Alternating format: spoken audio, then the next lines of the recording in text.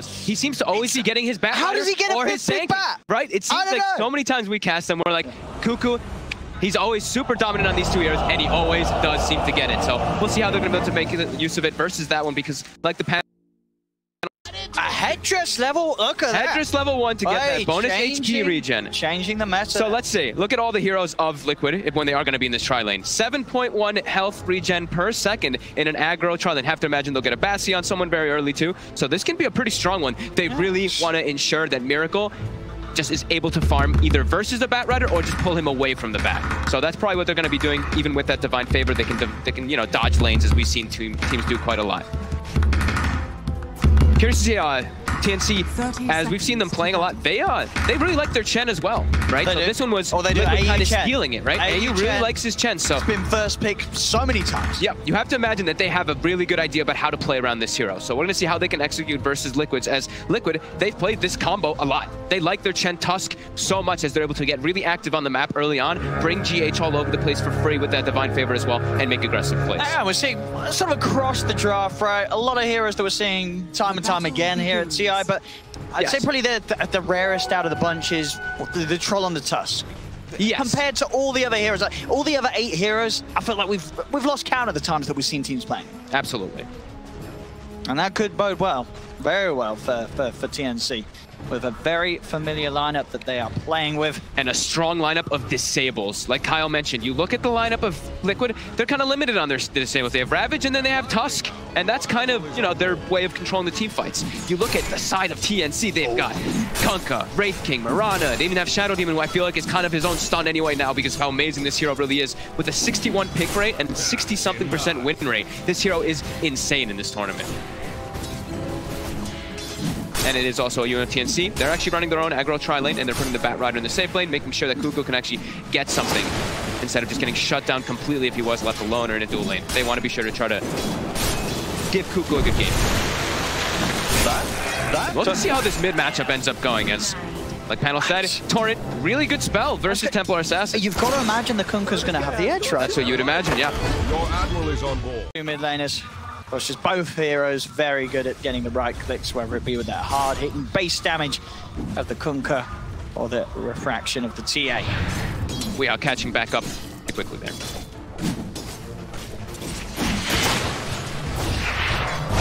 So they are starting to recover both of those heroes that were aggro tri-laned at first. Now able to start getting something as Michael even getting aggressive onto Gabby here with that Mud Golem from Kuro. And like Panel mentioned, you know, the Tidehunter laning versus the Wraith King, it's pretty good. You're always going to be able to go for those anchor smashes onto the Skeletons. And what we were talking about.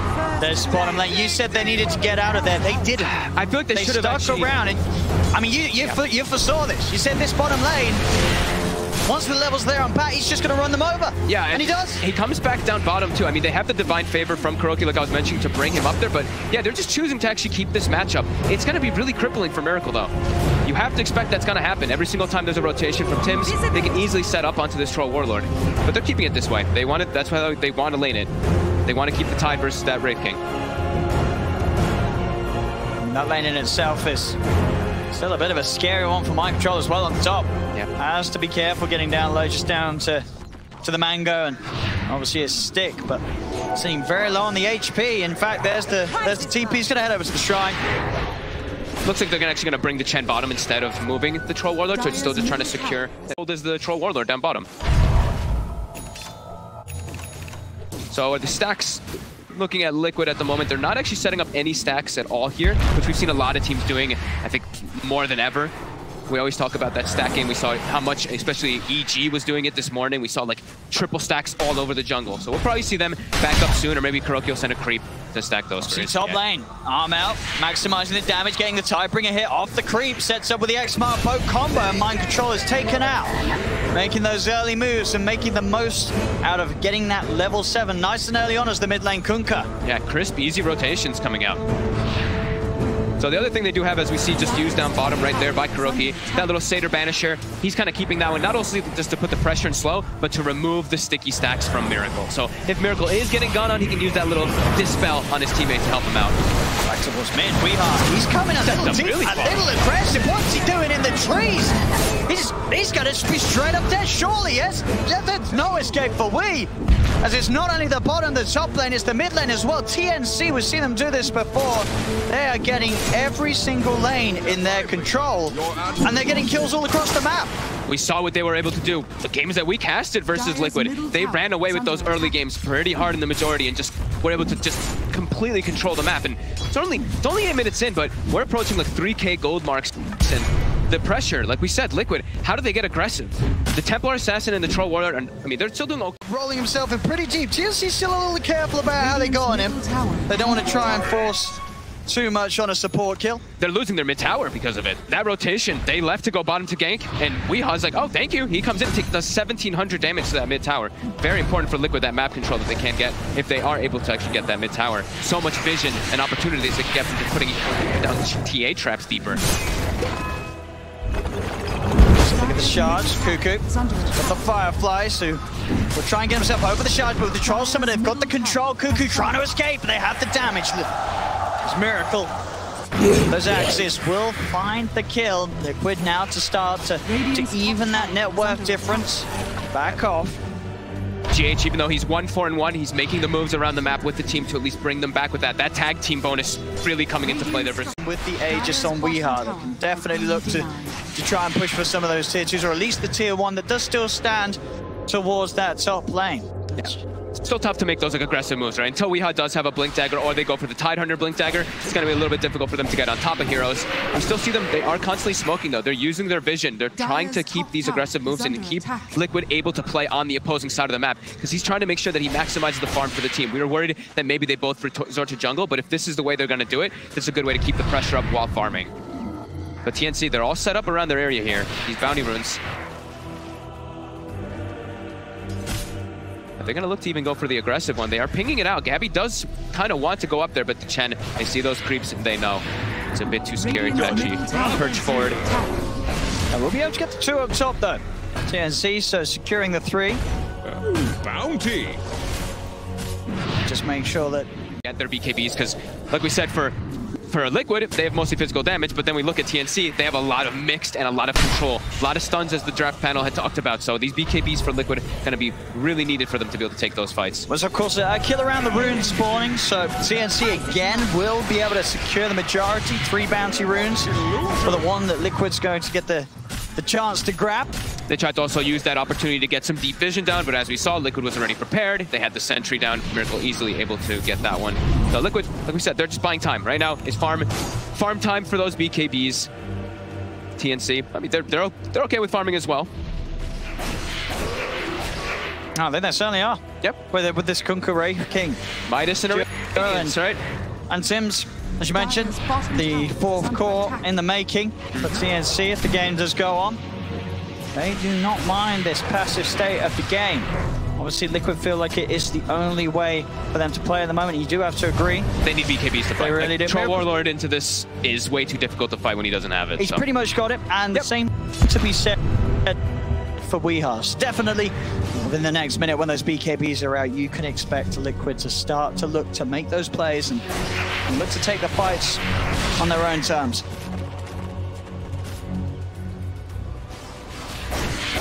They have to make a lot happen with those BKBs too, right? Your, your 10 second BKBs are massive because once those start trickling down, that is one of the things that we know about TA is you get to the later stages, you only have a five second BKB to work with, it can be really problematic. So they're gonna have both looking to come out actually at the exact same time. So this is a big peak here for Liquid. And they do actually also have vision right now of TNC with this ward here up on that top bounty rune. So a lot of information going for them on the map. Mid lane is still kind of pushing in, so they have to address that before they can make too big of a smoke. So one person will take that one out.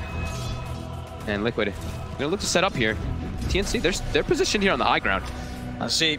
This is the, the all-important fight for Liquid. They're 4k down, they've got the BKBs, this is the time to swing that net worth advantage back in their favor. Miracle's gonna look to start the fight with a Grand Brown, he's got eyes on Gabby. Jump ball from AUA, he's gonna be the first to fall. Now they'll be able to focus down the Wraith King. Gabby getting his mana burnt by the defusal. Picks up the second. The exact kind of maneuver that Liquid was hoping to execute with that smoke and the BKBs. They're able to find a couple of kills, one of them being the big old Wraith King, getting Gabby off the map and opening up some space to pressure down middle lane. Very methodically, very methodically done, right? The way they wrapped around that smoke. Instead of going just walking up to the high ground, they sent GH to the high ground, and then they wrap around the back to get the get the squishy supports as well as that Wraith King. Still at this point, like we said, five armor, with five plus six armor. So he just gets easily brought down from these physical heroes of Liquid. And he switched the build. He's actually wanting to go for, for a more aggressive type build onto Gabby, that is. They pinged it immediately. Yeah. Hiroki pinged it right away. He's They like, they're it. bottom. Yep, they're smoke bottom. He knows. That's, the risk you take when you take those power ins when you're smoked. And mm-hmm. either way, it looks like TNC sort of knew it themselves. They grab the rune, they don't try and look any deeper. They don't go up to the high ground. They know that it was very likely to have wards on the area. They've got all their lanes pushed out right now on the side of Liquid. It's go time again. Like we said, those BKBs, they're, they're also going to be constantly looking for fights. Also now I believe GH is bringing a Blink Dagger. This is also another very oh. crucial item for Liquid. As Kyle mentioned on that draft panel, a lot of different ways that you can, you know, they're telltale the way the TNC spell is going to be coming out. There's a lot of ways that you can get some nice saves coming in from GH. There we go. Smoke into Rosh. It's going to be a big fight. It is scanned out, so TNC know exactly what's up. Kuku's going to start heading over with the Firefly. Moonlight Shadow being offered over by Tims. Arrow, As second Liquid will go for it. He's take it out very quickly. Kuku's going to try and look for the timing. He's in with the lasso. On the the BKB. The time bringing the moment mind control. He's outside the pit with the Ravage. Jarman already got the BKB up, but Tims is punched up into the air. Gabby's trying to tap, but a quick melt in from Weeha takes him down the once. He's back with the second life. Blinks over to the side. Weeha still trying to keep his eyes on Gabby. Gabby. Great Fire Blast slows down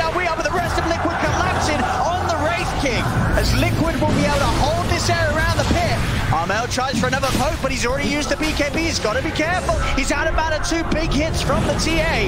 Bring Kuka down low as TNC back up to the high ground. Tim, Tim's Liquid. He's trying to steal. They are not going to get it though. Weeha will be able to secure that GH as he knows now with the Aegis in Weeha's hands.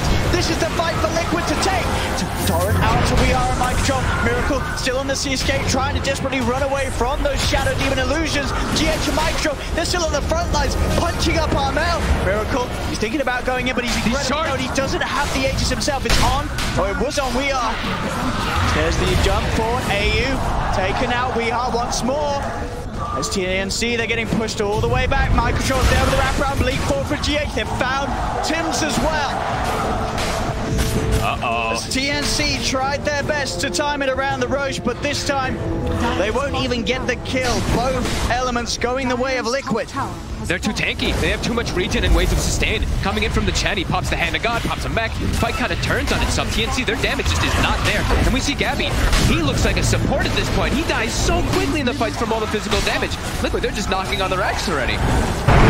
Send a boat down mid, won't make the connection. 40 seconds, no Tims. Liquid more than happy to stand their ground and look to take this Rax away. Just 26 minutes there, they'll go for the lead in with the lasso. But snowball forward, Gabby throws out the zone. I'm up plus the BKB, but he has to put the BKB in right. It's so much physical damage output coming out from Liquid. Miracle with the ult. He beats down Kuku. Gabby's out of matter, He's got to back off. The buyback comes in from Kuku. They'll look for the drag back with the X mark. Looking towards Miracle, but he has the movement speed to get out. We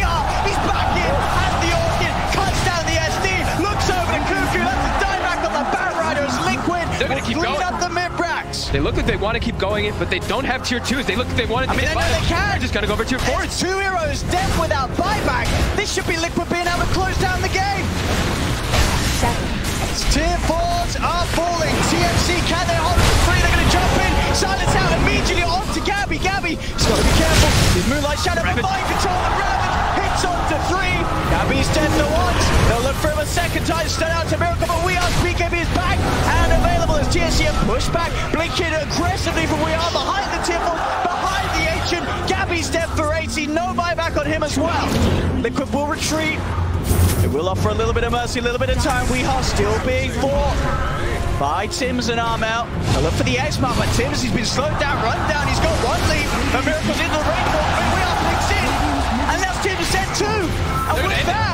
Certainly have a good shot at closing this out. The fortification is there. Armel is going to try his best with some cleaves, maybe setting them back a little bit, but they have the heal coming out from that back.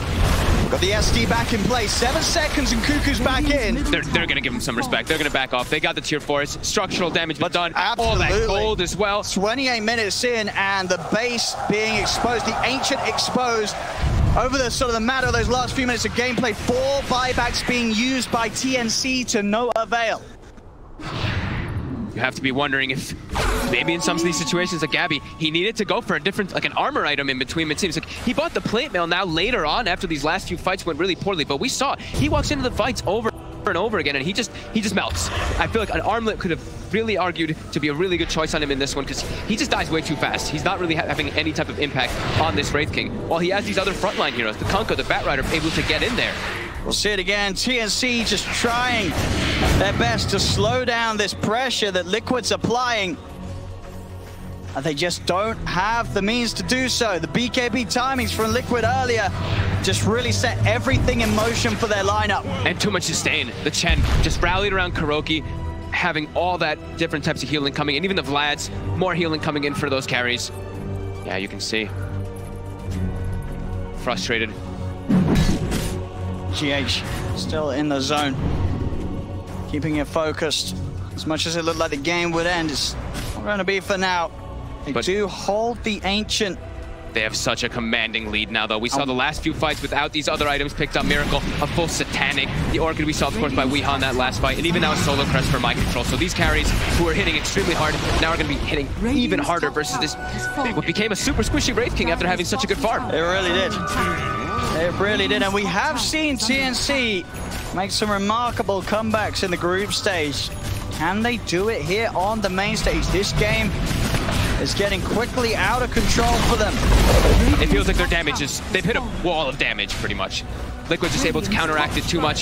Sure, TNC, they keep coming back in. They throw a Tidebringer, they throw a Starstorm, then they leap back out. They, allow, they have a lot of different ways to like poke and prod, but yeah, Liquid, they just rally and group up and it's too much right now for TNC to take around this Tidehunter. Like we said, this hero has been also winning a lot of games, just the way that the group up, the team fights that happen, the way that you're able to just counter-initiate and just ruin the whole entire idea and the way the TNC wanted to fight.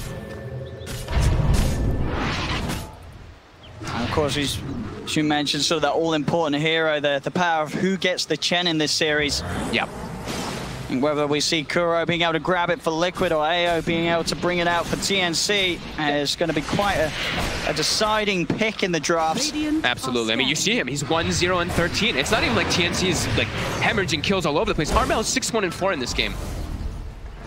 It's it's pretty remarkable the way that they can just group up around this hero, around the Titan as well, and just start to close the map and win a couple fights and just snowball out of control. That's what we see a lot happen with these Templar Assassins. These 30-minute pushes, these 25-minute pushes with an Aegis, able to really just take over your advantage.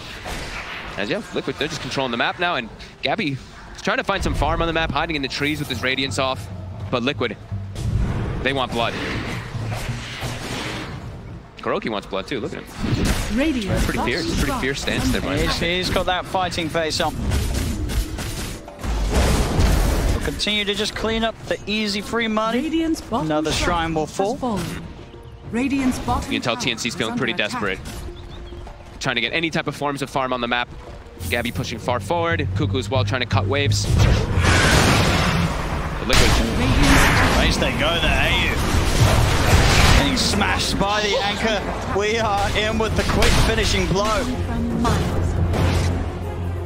as this five man of Liquid just seems a little too powerful right now. This draft for TNC to deal with and hold back at the 32 minute point. Into the base they go, Liquid.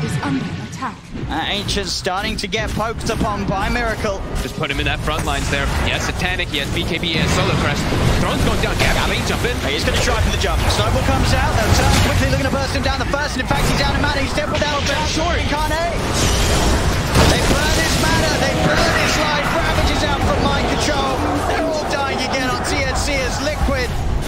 Will push Armel back to the base and GG is called. This game was over at least about five minutes ago. They tried for one last shot. It's the main stage, you've got to do it.